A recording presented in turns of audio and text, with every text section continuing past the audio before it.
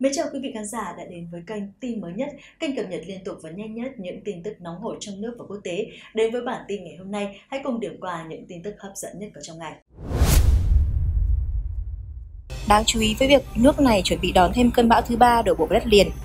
Tình hình mưa lũ tại Trung Quốc và bên cạnh đó là vai trò cắt lũ của đập Tam Hiệp trên sông Trường Giang ngay sau khi cơn bão số 1 gây mưa lớn tại tỉnh Hải Nam và suy yếu thành áp thấp nhiệt đới, thì cơn bão số 2 là cơn bão nhiệt đới thứ hai trong năm nay sẽ đổ bộ vào Trung Quốc vào đêm ngày hôm nay. Và sáng ngày mai, theo thông tin từ Bộ Quản lý các tình trạng khẩn cấp Trung Quốc, bão số 2 cơn bão nhiệt đới thứ hai trong năm nay sẽ đổ bộ vào đất liền nước này vào đêm nay và sáng ngày mai. Dự kiến đêm nay, bão số 2 đổ bộ vào khu vực phía bắc bờ biển tỉnh Phúc Kiến. Đêm nay đến dạng sáng ngày mai, các khu vực như Phúc Kiến, Chiết Giang, Giang Tô sẽ có mưa vừa và mưa rất to, đặc biệt là khu vực Chiết Giang, lượng mưa có thể lên đến 140 mm. Trước những diễn biến của bão số 2, cơ quan phòng chống thiên tai Trung Quốc đã khởi động mức ứng phó mưa bão cấp độ 4, đồng thời yêu cầu các địa phương có bão đi qua cần làm tốt công tác phòng ngừa. Trung Quốc vừa trải qua 2 tháng mưa lớn và lũ lụt kéo dài miền Tây gây thiệt hại lớn về người và của. Tân Hoa xã cho hay lũ lụt ở Trung Quốc làm ít nhất 158 người thiệt mạng, thiệt hại kinh tế hơn 20 tỷ đô la. Vừa qua, ông Vương Dũng, Ủy viên Hội đồng Nhà nước Trung Quốc đã kêu gọi nỗ lực toàn diện trong việc kiểm soát lũ lụt và phục hồi sau thảm họa để đảm bảo an toàn cho tính mạng và tài sản của người dân. Ông Vương lưu ý rằng rủi ro và nguy cơ tiềm ẩn đang gia tăng khi mực nước cao ở sông hồ và hồ chứa đang đe dọa cơ sở hạ tầng, kiểm soát lũ trên cả nước. Ông Vương đồng ý nhấn mạnh nỗ lực giám sát chặt chẽ tình trạng lũ lụt, chuẩn bị sẵn sàng cho bão và mưa lớn để ngăn chặn thảm họa và thương vong lớn. Ông Vương cũng yêu cầu chính quyền địa phương tăng cường hỗ trợ các nạn nhân lũ lụt, kiểm soát dịch bệnh ổn định cuộc sống để đền bù khôi phục sản xuất càng nhanh càng tốt. Ông cũng lưu ý rằng các nhà chức trách cần đảm bảo rằng những người đã thoát nghèo sẽ không trở lại tình trạng nghèo đói do thảm họa thiên nhiên.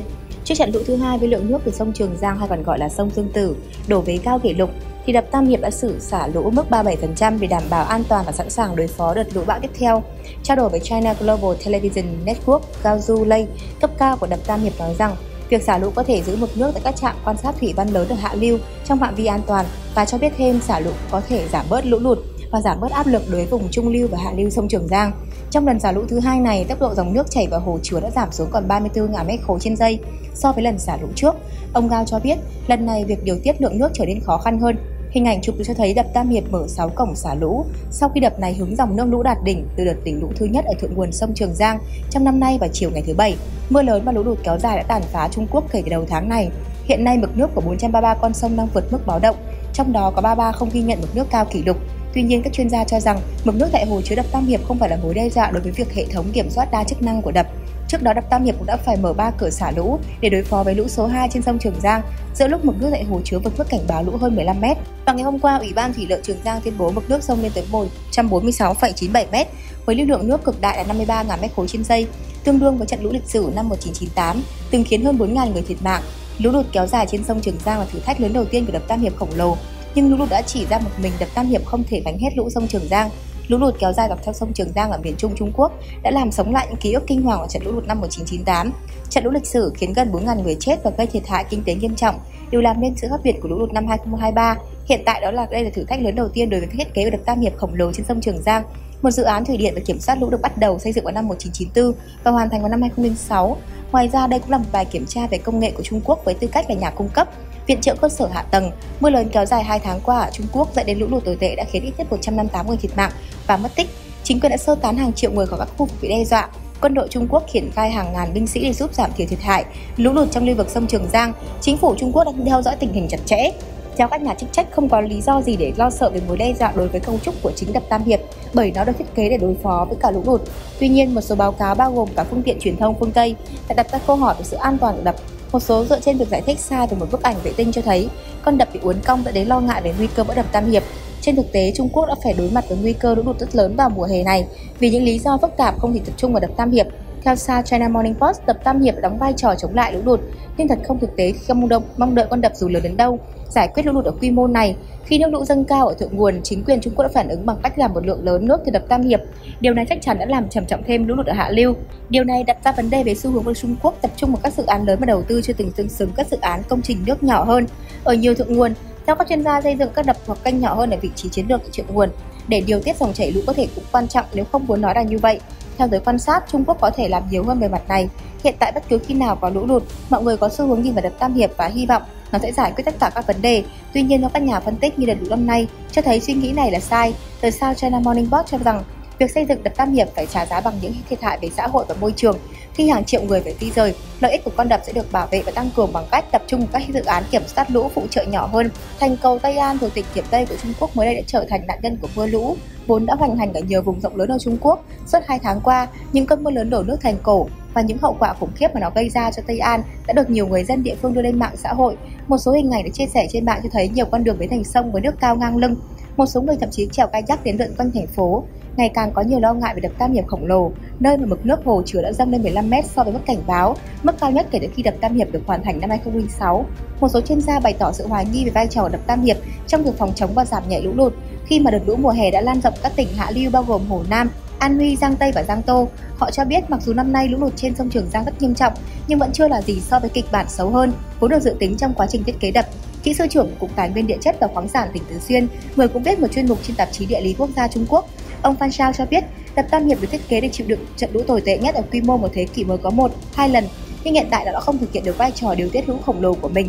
Mặc dù các trận lũ năm nay ít nghiêm trọng hơn so với trường hợp xấu nhất trong thông số thiết kế, khi xây dựng đợt Tam Hiệp được đặt ra mục tiêu để kiểm soát lũ lụt và bảo vệ các trung tâm đô thị như Vũ Hán và Trùng Khánh. Tuy nhiên, cả hai thành phố đã bị nhấn chìm một phần vào đợt lũ này. Mặc dù nhà điều hành đập Tam Hiệp nói rằng tình hình có thể đã tàn khốc hơn nhiều nếu không có đập. Bài học chống lũ từ Trung Quốc đã khiến cho Việt Nam phải nhìn nhận lại về công tác theo dõi, giám sát mưa lũ các hồ chứa sử dụng lòng sông, bãi sông và hệ thống đê điều. Trong một bài báo điện tử vtv.vn đưa ra nhận định rằng Việt Nam đã vào mùa mưa, bắt đầu từ cách đây 10 ngày tại Hà Giang và một số tỉnh miền núi ngày hôm qua. Tại Đắk Lắk cũng đã xảy ra mưa lũ khiến nhiều chuyện xảy ra hiện tượng ngập lụt cục bộ. Theo dự báo, vào đầu tháng tới tại nhiều địa phương có đợt mưa lớn trên diện rộng có vai trò mưa to rất to. Công tác đối phó với tình hình mưa lũ phức tạp đã được chuẩn bị thế nào? Các công trình phòng chống thiên tai hiện nay đã được đáp ứng yêu cầu chưa? Còn có những khó khăn bất cập nào? Trong chương trình sự kiện và bình luận vừa qua trên VTV với sự tham gia của hai vị khách mời là ông Trần Quang Hải, Phó trưởng ban chỉ đạo Trung ương về phòng chống thiên tai, Tổng cục trưởng Tổng cục phòng chống thiên tai và ông Hoàng Đức Cường, Phó Tổng cục trưởng Tổng cục Khí tượng Thủy văn đã cùng trao đổi về vấn đề này. Từ đầu tháng đến nay, Trung Quốc đã phải hứng chịu rất nhiều trận mưa lớn kéo dài và trên diện rộng. Nhiều địa phương ở miền Nam và miền Đông Trung Quốc đã nâng cao cảnh báo lũ lên mức cao nhất, cảnh báo đỏ. Từ đầu mùa lũ đến nay, Trung Quốc đã có ít nhất 141 người chết và mất tích, hơn 40 triệu người bị ảnh hưởng nặng nề. Thiệt hại vật chất thống kê chưa đầy đủ hơn 12 tỷ đô la. Ngay cả con đập lớn nhất thế giới Tam Hiệp trên dòng sông Trường Giang ghi nhận mực nước tích trong lòng hồ cao kỷ lục từ trước đến nay 164,18 m, tích trữ 14 tỷ mét khối. Theo thiết kế dung tích hồ chứa của đập Tam Hiệp lên tới 22 tỷ mét khối. Đánh giá về tình hình mưa lũ của Trung Quốc, ông Trần Quang Hoài, Tổng cục trưởng Tổng cục Phòng chống thiên tai cho biết đã có 433 con sông vượt báo động. Mưa lũ làm hồ chứa phải xả lũ cùng nhiều tuyến đê bị phá hủy, gây thiệt hại rất lớn về người và tài sản. Nhận định bài học cho Việt Nam trong câu chuyện kiểm soát lũ ở đập Tam Hiệp, ông Trần Quang Hoài nhấn mạnh, Tam Hiệp là công trình cắt lũ lớn nhất so với các quốc gia khác. Khi Tam Hiệp xả lũ để đảm bảo an toàn, thì hệ thống đê điều gặp sự cố đối với Việt Nam. Từ khi xây dựng hồ Hòa Bình và hồ Sơn La, các cơn lũ đã vặt thì chúng ta đã cắt được lũ. Nhiều chuyên gia trong lĩnh vực phòng chống thiên tai cũng nhận thức được hồ Hòa Bình và hồ Sơn La cắt xong lũ.